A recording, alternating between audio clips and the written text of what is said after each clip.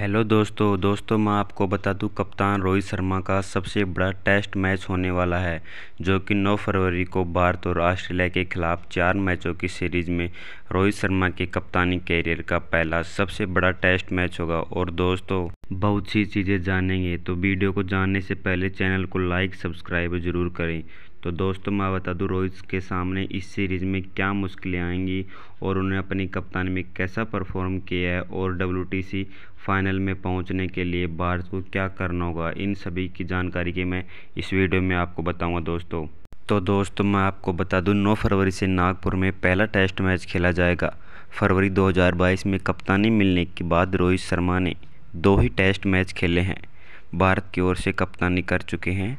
इस बीच इंजरी के कारण वह इंग्लैंड और बांग्लादेश में तीन टेस्ट मैच सीरीज़ वे नहीं खेल पाए हैं। इसके साथ ही रोहित का टेस्ट कप्तानी में अनुभव कम है।